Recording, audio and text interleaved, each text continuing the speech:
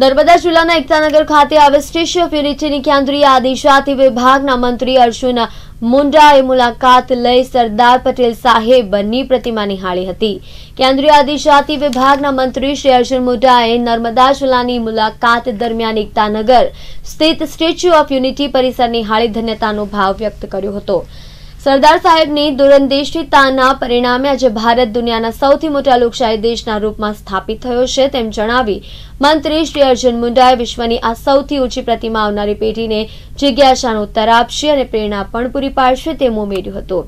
આ મુલાકાત વેળાએ ટાઇફેડના ચેરમેન શ્રી રામસિંહભાઈ રાઠવા ગુજરાત સરકારના આદિજાતિ વિભાગના સચિવ શ્રી મુરલીકૃષ્ણ, ગુજરાતના પૂર્વ આદિજાતિ અને વન મંત્રી શ્રી શબ્દશરણ તડવી નર્મદા જિલ્લા પ્રયોજનના વહીવટદાર શ્રી પંકજ ઓંધિયા સ્થાનિક અગ્રણીઓ પદાધિકારીશ્રીઓ સાથે પણ જોડાયા હતા स्टैचू ऑफ यूनिटी न केवल भारत के लिए बल्कि दुनिया के लिए एक आकर्षण का केंद्र है और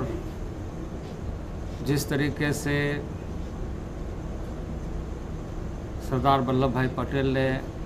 देश को संगठित करते हुए एकता के सूत्र में पिरोया है। उसका जीवंत उदाहरण इस स्थान पर आने से देश और दुनियावासियों को मिलेगा, ऐसा एक परिसर ये बना है। मैं आज आकर बहुत ही आनंदित महसूस कर रहा हूँ कि आर्किटेक्ट ने, कर्मियों ने, दाताओं ने सब मिल कर के एक अद्भुत तरीके से माननीय प्रधानमंत्री जी के दृढ़ इच्छा शक्ति को संपूर्णता प्रदान की है।